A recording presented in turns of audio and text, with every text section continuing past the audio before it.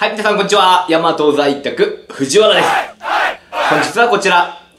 不動産取引全般の確認事項をチェックしようということでお話をしていきます。不動産取引ですね。えー、収益不動産も不動産取引なんですけども、えー、今日はですね、この中でもですね、えー、収益不動産独特のですね、チェックポイントっていうのはこちらに記載の通りなんですけども、えー、本日はですね、えー、まあまあ、あのー、不動産、収益不動産に関わらず、えー、戸建てとかですね、そういった部分取引するときにも、えー、よくこうチェックされるポイントについてですね、えー、解説していきますので、えー、ぜひですね、えー、深い知識を得たい方はご覧いただきたいというふうに思います。はい。えー、まず確認事項ですね。えー、こちらのように、えー、全部で10項目ありますので、えー、ざらっとですね、えー、一個一個解説していきます。えー、まず、えー、道路の福音なんですけども、えー、よくですね、まあ、用途地域内のですね、えー、憲兵率とか、あ容積率、ここの確認というのは、え、される方多いんですけども、結構ですね、この不動産っていうのは、こう、接像がすごく重要なんですよね。道路の福音とかですね、えー、接像の幅、これが重要なんですけども、えー、まあ大体全面道路がですね、12メーターに満たない場合は、えー、よ法定のですね、えー、この、まあ、特に容積率の部分について、えー、こう、規制といいますかね、えー、制限がかかりますので、えー、何メートルの道路に接像しているかっていうのはすごく重要となります。えこれによってですね、えー、まあ、200、容積率200%の地域だったけども、えー、全面道路が今4メーターしかなくてですね、えー、実際には容積率160%しか使えなかったと。で、建物が200%以上、200%で建てたりすると、えー、200%で合ってるかなと思いきやですね、実際は容積率がオーバーしていたりというようなこともありますので、注意が必要となります。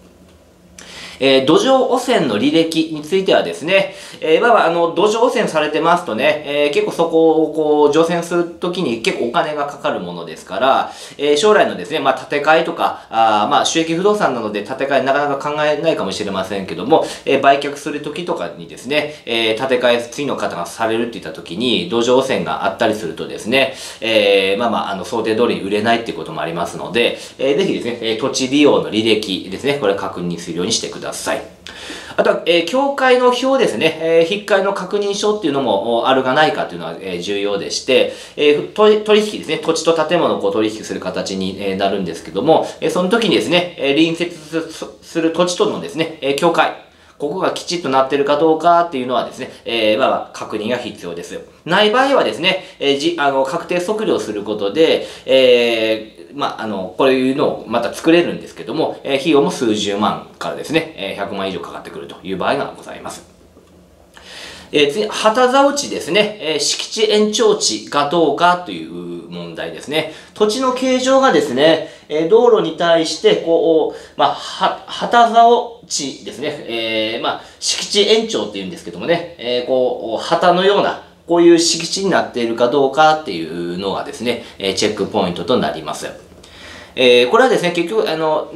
収益不動産の場合だと、もう旗座落ちであろうがなかろうがですね、えー、まあまあ建物建ってる状態で買うんですけども、まあ、やっぱりこう土地のこう価値としてですね、えー、再建築できるかどうかっていうのはやっぱり重要なんですよね。で具体的にはですね、いわゆる共同住宅と言われるものは特殊建築物という扱いになりまして、ここの幅がですね、4メーター以上ないと作れないということになってます。これ全国一律でなってますね。で、あとはですね、あの、4メーターあったとしても、例えばここの竿の部分ですね、ここのがすごく何十メーターあったりすると、えー、こう、再建築できないとかですね、大きく規制がかかると。まあ、あの、えー、大阪本社、当社なんですけれども、えー、まあ、京都市とかではですね、この傾向が結構ありますね。で、ただ、あの、うん、4メーターなかったとしてもですね、いわゆるこう、長屋、と言われるものについては、えー、まあ、4メーター未満であってもですね、建てられたりもしますので、これ各自治体によってですね、えー、異なります。2メーターで長屋建てられる場合もあればですね、3メーター以上必要という場合もあったりしますので、ここはもう自治体によって変わってきます。あと、あの、先ほどのですね、教会の部分にも関係するんですけども、実際、こう、教会の部分でですね、近隣の、臨地の方々と、こう、争ってないかと、そういう境界紛争のですね、有無っていうのも必要となります。知らずに買ってしまってですね、後からこここはあの前の所有者さんと揉めてたんやということでですね、えー、もううちはここから、あの、が、あの、ここまで俺らの土地だからなとかってこう言い争いになってもですね、えー、まあ法的に処理するしかなくなりますので、えこういった部分の確認も必要となります。あとは第三者のですね、敷地利用の有無ですね。まあ、これはですね、あのー、まあ、不動産買うときに、え例えば全面道路がこう、市道であった、私道であった場合とかですね、あとはこう、宅地一帯でですね、開発されたりすると、まあ、結構ですね、その道路の、ま所有権がですね、え不動産会社になっていたりとか、まあ、いろいろあるんですけども、その時に、えっ、ー、と、その買おうとしてる不動産のまあ、例えばこう排水とかですね、給排水の部分ですね。この徘徊が、配管が、え、第三者のですね、えー、まあ、許可がないとこう通せないような状態になってたりすると、まあ、結構この権利関係ですね、まあ、特に再建築するときなんかですね、非常に、えー、苦労しますので、その権利関係がきちっと整理されているかどうかというのは、えー、確認が必要となります。あとは、えー、シロアリ被害の有無ですね。これは木造のですね、アパートなんかでは注意事項なんですけども、えー、まあその履歴があるかどうかという確認ですね。えー、ない場合はですね、ぜひですね、え、防御処理はやった方がいいですね。えー、不意にですね、こう腐ってですね、えー、まあ、家が傾いたとかですね、えー、まあ、階段がこう、崩落した、まあ、いろいろありますので、え、まあ、数十万でですね、防御処理可能ですのでね、えー、ぜひやっていただきたいと思います。あと、え、事故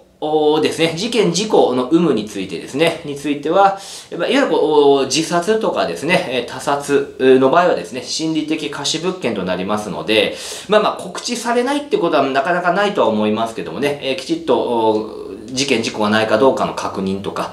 あとは最近だとですね、えー、こう孤独死とか病死っていった場合もですね、え、まあ結構発生するんですけども、まあここはですね、え、状況によってはですね、心理的過死にならない場合もありますけども、えー、まあそういったあ心理的過死までは至らないけども、えー、まあ孤独死とか、あそういったのはないですかというのは確認されていいかなというふうに思います。えー、あと、高圧電線の有無ですね。まあ、これはどちらかというとですね、大きい問題ではないんですけども、お例えば、容積率の大きい、えー、敷地買うときでですね、えー、こう高い、えー、4階、5階建てとか、将来こう建て替えたいなといったことで、えー、買ったとしてもですね、えー、上空に、高圧電線通ってたりすると、まあ多くがですね、えー、電力会社によってこう地域権っていうのがついているんですけども、あの、その登記がされてないケースもありますので、えー、もし高圧電線が通ってるとですね、高さの制限、えー、大きく受けますので、予定通り建物を再建築できないとかっていう場合もありますのでね、えー、まあ確認は必要かなというふうに思います。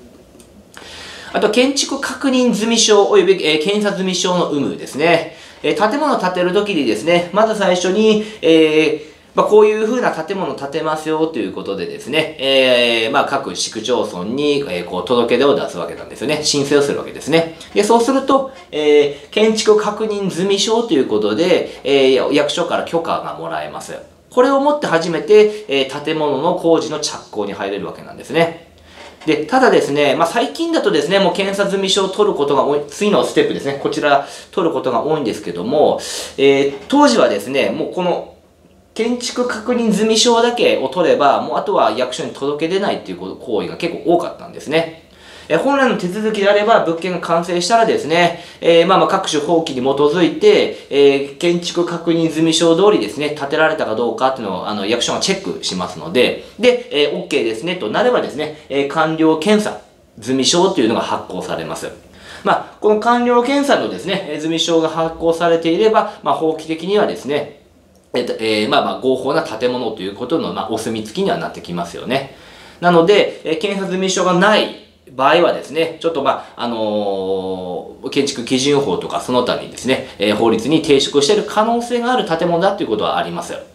えー、まあまあ、投資家の場合はですね、えー、重要なのは融資ですよね。えー、きちっと融資がつくかといったことについてなんですけども、最近の傾向としてはですね、まあ、大手の都市銀行は、えー、検査済証はなければまだ融資は出ないですね。地方銀行さんもそういう傾向に、えー、なってきました。えー、まあ、不要って書いてますけどもね、まあ、不要な金融機関もあるけども、傾向としては、検査済証は必須となってきましたね。また、新金さんとかですね、新祖、えー、信用組合さんなんかはですね、えー、まだ、まあ、あんまり言われないかなというふうに思います。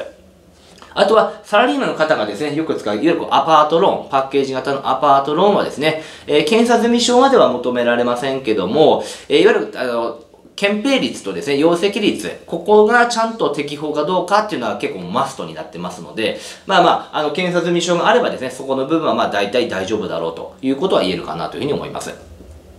あと、用途変更の有無ですね。これは先ほど検査済証があればまあ適法だっていう話したんですけども、検査済証を取得した後にですね、え、こうやって用途変更とかですね、まあいろいろあったりすると、え、ちょっとまあ法的にどうなのかっていう問題が出てきます。例えばですね、えー、建築確認やるときに、えー、まあ1階をですね、車庫として申請したけども、実際はですね、こう、住居にしてしまってるケースですね。まあ車庫にするとですね、まあ一定の部分、面積に関して、えー、容積率不参入になるという、まあこういうルールがあるので、まあより多くの建部屋をこう作れるわけなんですけども、まあそれをうまくですね、やるために、まあこういうことがですね、過去横行していたようなんですね。車庫転用とかって言いますけどもね。で、まあそうするとですね、まあ実は容積率オーバーしていたという場合もあったりして、まあ融資の部分でですね、影響出てきますので、まあ注意は必要かなというふうに思います。ということでですね、えー、今日ざっとこうけあのご紹介、主だったとこしましたけども、えー、まあ我々、あのプロがですね、えー、不動産をこう実際にこう購入するときには、まあ、どうでしょうかね、もう100項目以上かな。えー、まあ、確認いろいろしてます。なので、えー、今日はですね、えー、不動産投資家の方々が、まあ、最低限、え、確認していただきたいポイントについてですね、え、こうか解説しましたので、え、こういった部分をですね、きちっと押さえていただいてですね、え、物件購入した後にこんなことではなかったということがないようにですね、え、していただけたらというふうに思います。ということでですね、え事前に確認できることはですね、しっかり確認しましてですね、え想定外の失敗を防いでいただけたらというふうに思います。え本日も最後までご覧いただきましてありがとうございます。動画の内容がよろしければ高評価とそしてチャンネル登録よろしくお願いしますではまた次回お会いしましょう。